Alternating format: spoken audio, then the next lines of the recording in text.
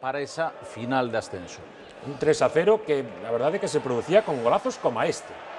Vaya disparo, que se saca ahí tubo.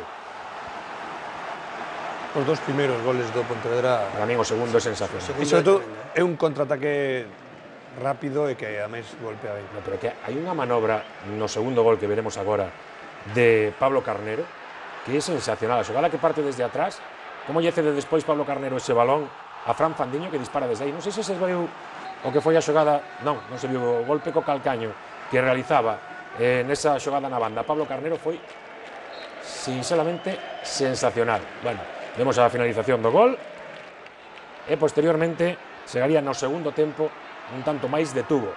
Antes continuamos a ver estes intentos do Pontevedra E xa decimos, por momentos, a verdade é que estábamos a ver o partido, verdade, na redacción, e decíamos, pero vaya partidazo que está a xogar o equipo mm. pontevedrés. Mm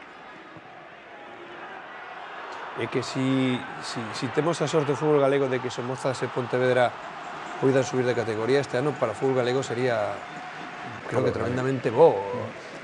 O Celta fixo un gran ano, o Depor recupera a categoría, o Lugo mantense, sí. e duns equipos máis en segunda B. Niña Serais sería unha temporada sensacional. Moi boa para o fútbol galego. Pontevedra buscou incluso un cuarto tanto, despois do terceiro detuvo, E ao final, pois, algunha aproximación do Atlético Granadiña, pero sen maior perigo. 3 a 0, boa vantaxe para a volta.